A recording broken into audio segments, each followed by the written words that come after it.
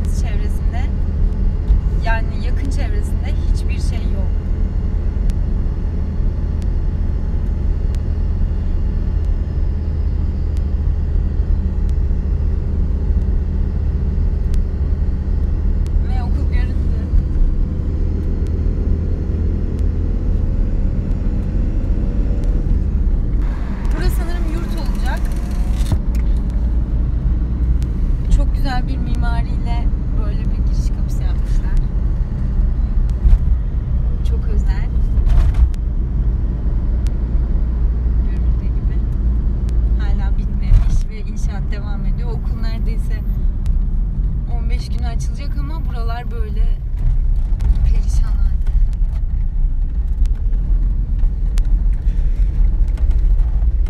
çok lüks bir arabanız varsa arabayı şu asfalta bırakıp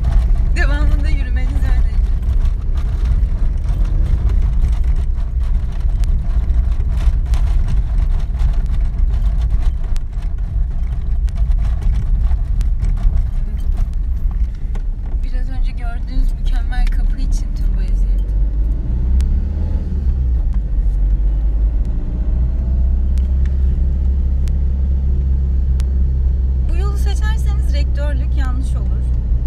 Bu taraf öğrenci girişi. Zaten tabela var, yeni koymuşlar.